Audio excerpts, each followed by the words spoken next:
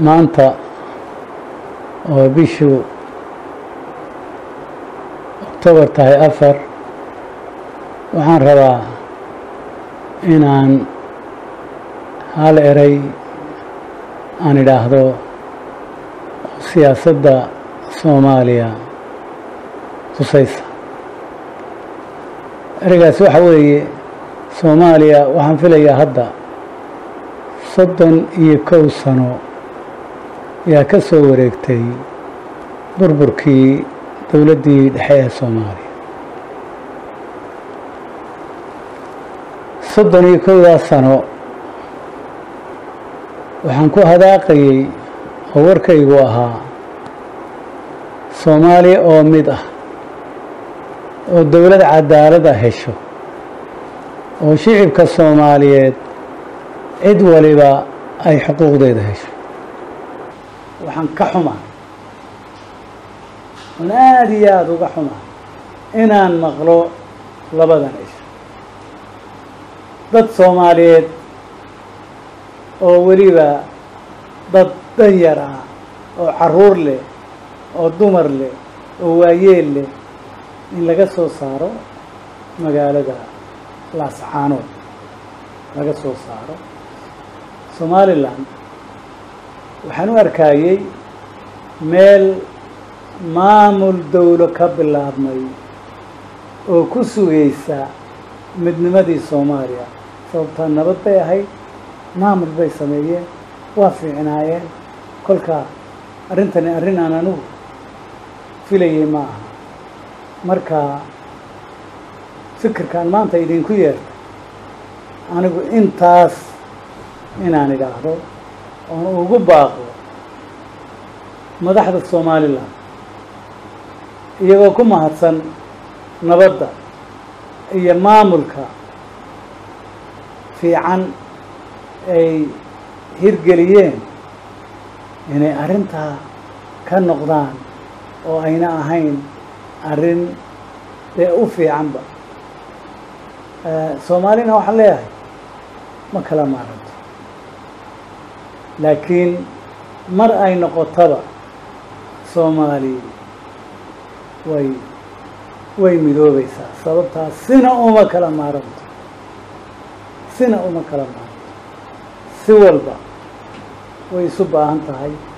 Waxaa keliya kolkaa loo baahan yahay sidaynu u heli lahayn nidaam cadaalad iyo xaqsoor dhaba soomaali oo dhan u sameeya oo la ysugu yimaado shir lagaga tashada arrintaa laga wada hadlo oo lagu heshiyo waan ka xumay maanta inaan ereyo maqlo dad yacni danyara oo dal magaalo soomaaliyeed laga soo saaray waan ka xumahay waxaanan aada iyo aad mar labaad mar saddexaad iyo mar afraadba ugu baaqayaa maamulka dowladda somalilan inay arrintaas ka noqoto oo ay waxaa baan islahaa anigu oo waayadan baan ka fikirayay soomaaliyaba in qeybtanna ay u yeeraan oo yidhaahdaan iyagu ay noqdaan maadaama ay nabad ya iyo deganaansho maamul deganaansho leeyihiin inay yidhaahdaan ay isu keen keena taan ka sugayay taas wey aada iyo aad baad mahadsantihiin. Maanta oo bishu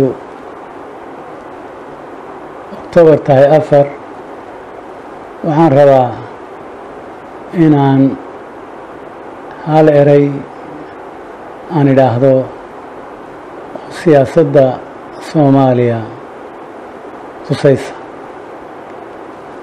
Ereygaas waxa weeye soomaaliya waxaan filayaa hadda soddon iyo kow sano yaa ka soo wareegtay burburkii dowladdii dhexe ee soomaaliya.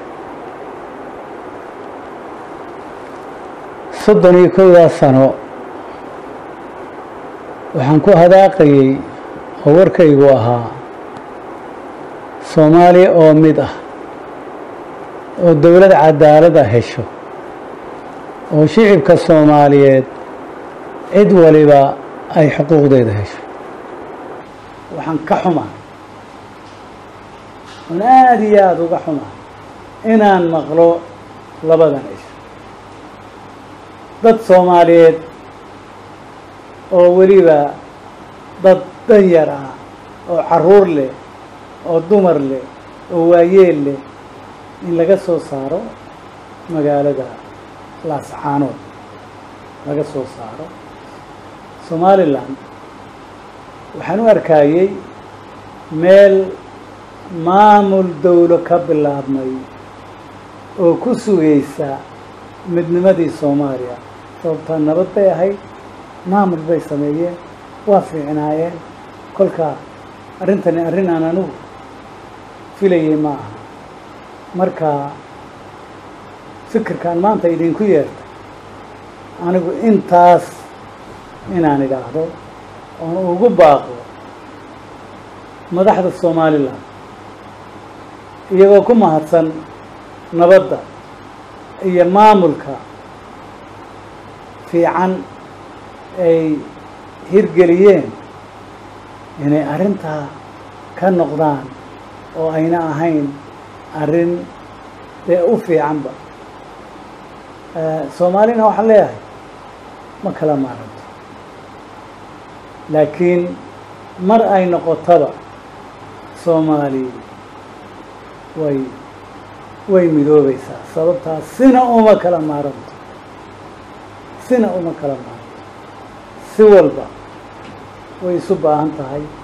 Waxaa keliya kolkaa loo baahan yahay sidaynu u heli lahayn nidaam cadaalad iyo xaqsoor dhaba soomaali oo dhan u sameeya.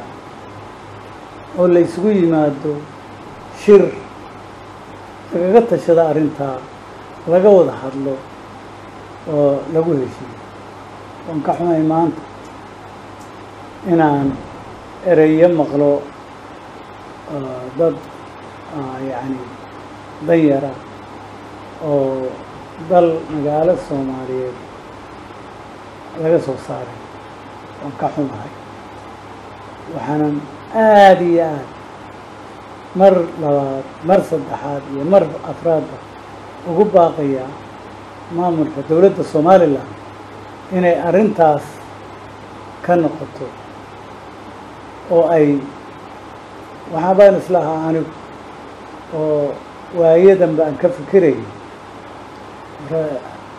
Soomaaliyaba in qeybtanna ay u yeeraan oo yidhaahdaan iyagu ay noqdaan maadaama ay nabad ya iyo degenaansho maama degenaansho leeyihiin inay yidhaahdaan isu keen keena taan ka sugayay taas wey aada iyo aad baad mahadsantihiin